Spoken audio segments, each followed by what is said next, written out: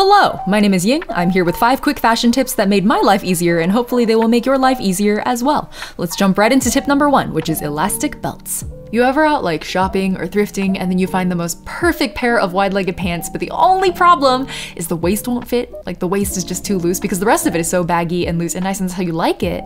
But the waist really needs to cinch or these pants are gonna fall off your body, right?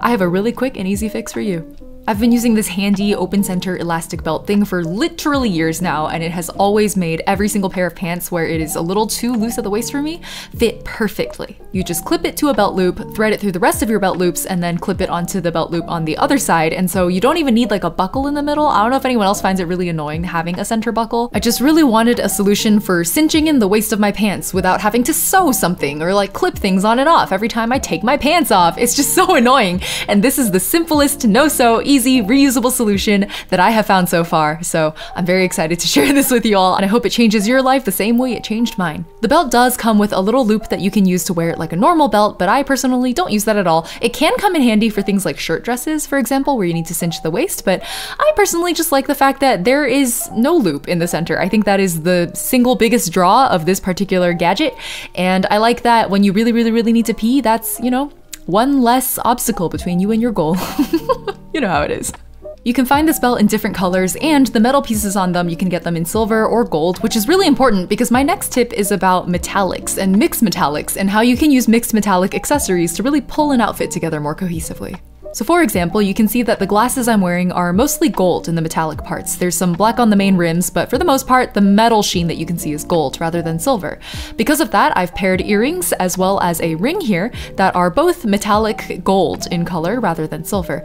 Keeping your metallic tones matched as much as you can through the outfit is a small detail that can make a really big difference, but it's also kind of a headache. Like it's really annoying to have to pay attention to the color of your belt buckle or the zipper on your purse, right? These are the ways that metallic colors can sneak into your your outfit without you even noticing. So I have a little hack using mixed metallics to pull everything together. No matter whether you have gold or silver sheened accessories or even bronze in many cases, it'll all work out if you just use some mixed metallic pieces. Most of my metallics are a simple silver or gold-ish kind of sheen, so most of my mixed metallic pieces like this necklace are a combination of those two colors. I also have a few pairs of earrings. You might notice that I really like circular shapes. so I have quite a few circular shaped mixed metallic earrings that will help me always pull together the silvers and the golds that are mixed into my outfit. One of my favorites is this pair of studs that I found at an antique fair once that are made from old Italian lira coins. It's quite neat. People are so creative. My third tip is very simple. It's just to pay more attention to your glasses and be more intentional about what frames you wear with which outfits. I think a lot of people underestimate the huge amount of impact that your glasses frames can have on your overall aesthetic and vibe. In many cases, your glasses are probably the first thing people notice about you, however subconsciously that may be, because they're trying to make eye contact with you. So I'm of the opinion that anyone who's a glasses wearer would benefit from slowly building up a collection of frames that are of different styles and shapes and colors so that you can mix and match them to work for different outfits that have different vibes.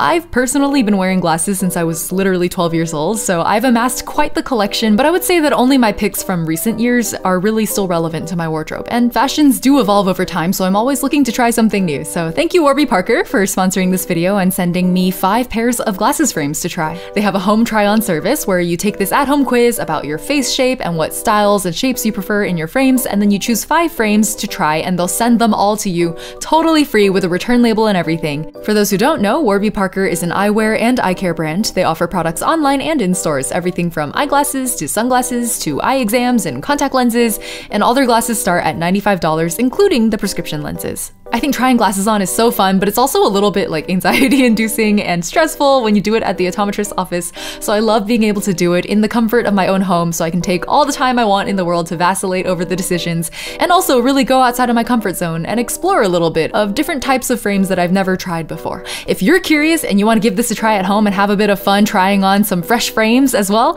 use my link below and you can get five pairs of glasses for free to try on at home, no obligation to purchase. It's just fun. I think the glasses are a really underrated accessory. I think the shape and style of your frames can say a lot about your personality, and so I really encourage you to experiment with it and have a bit of fun with it. Moving on now to tip number four, which is bootstraps. Have you ever been vibing, really feeling yourself in your outfit, and then you look down and you realize that uh, the cuffs of your pants have once again escaped the boots that you tucked them into? it's a really frustrating feeling. I like for little details like this to take care of themselves, right? I don't want to have to be thinking about adjusting the cuffs of my pants every time I sit or stand or whatever and they shift a little bit. Thankfully, bootstraps do solve this problem. I feel like they're like the foot version of the belt that I showed at the top of this video.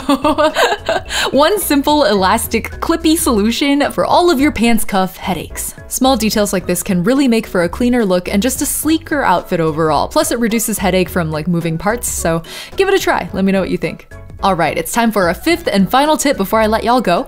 I am not much of a dress wearer, however, I do wear a dress once in a while for a wedding or other special occasion, and when the time comes, inevitably, my dress will not have pockets on it, and it's the most annoying thing in the world, and I think it's a huge reason I don't wear dresses more often than I want to, actually.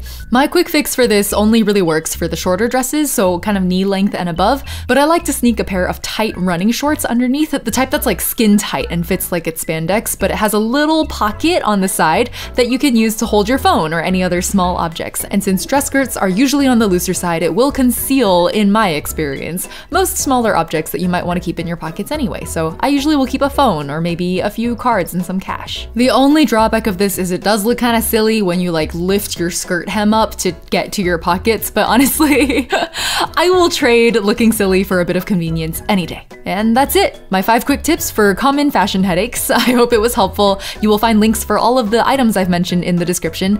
And let me know in the comments if you have any little hacks and tricks that you would like to share that I can try out because knowledge sharing is caring, right?